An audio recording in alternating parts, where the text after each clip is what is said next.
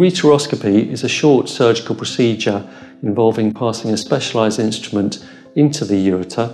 Uh, the ureter is a long muscular tube which drains urine from the kidney down to the bladder. The reason we do it is that normally um, the urine drains freely into the bladder, however, sometimes kidney stones can come down and cause a, a blockage, and that causes severe pain.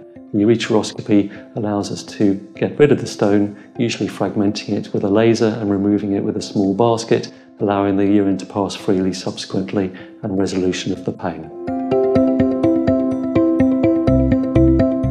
You would need a ureteroscopy uh, for a number of conditions. First of all, if you have a stone uh, obstructing the ureter, uh, as I've discussed previously, uh, that causes severe pain and needs usually emergency treatment. However, sometimes um, people have kidney stones which sit there in the kidneys and which require removal. And in that situation, we use a, a flexible ureteroscope, which allows us to uh, look up into the kidney and find the stone manipulate it into a good position and then fragment it using a laser again and removing the fragments with the basket. Ureteroscopy is either required for an emergency condition to remove a stone from an obstructing ureter or to remove kidney stones that are causing pain or problems up in the kidney.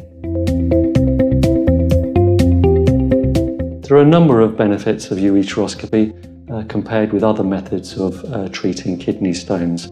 The main other method is uh, lithotripsy, which involves shock waves into the kidney stone to break it up into fragments. Ureteroscopy, however, allows us to see the stone directly and to ensure its removal.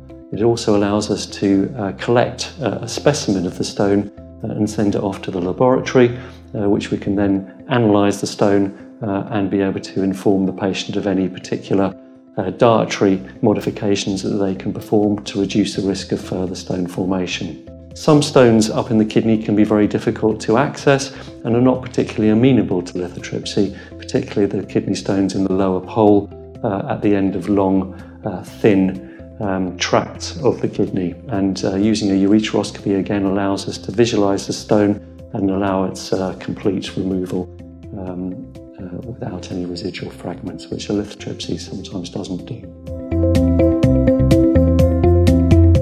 Well, during a, a, a, rigid ureteroscopy, which is for stones in the ureter, a guide wire will be passed uh, by passing an instrument through the uh, urinary tract up into the ureter, and then uh, a long, thin uh, instrument called a ureteroscope is passed through the urethra up into the ureter to the position of the stone. The stone uh, is then fragmented using a very thin laser fibre with high energy laser pulses onto the stone and the stone is either dusted and the dust washed away or fragmented into several particles and the particles then subsequently removed with a basket. Uh, if the stone is up in the kidney then a uh, flexible ureteroscope is um, inserted into the kidney normally over uh, a guide wire. It's a quick and straightforward procedure and the whole thing takes about 20 minutes to half an hour.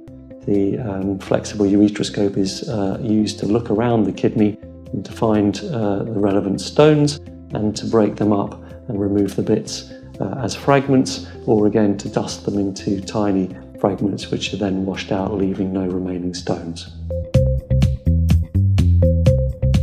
Well, the advantage of ureteroscopy is that it's a, a day case procedure normally, so the patient's normally able to go home uh, straight after the operation. Uh, sometimes a ureteric stent is left to allow the urine to drain freely, which may need to be subsequently removed, uh, but generally we manage to do the procedure without leaving any further stents. There's normally a period of recovery of a few hours after the anaesthetic, but then generally the patient is able to go home uh, later on the same day, um, and we'll follow up the patient in outpatients with the result of the stone analysis, and usually with some imaging to prove that the stone has been removed completely.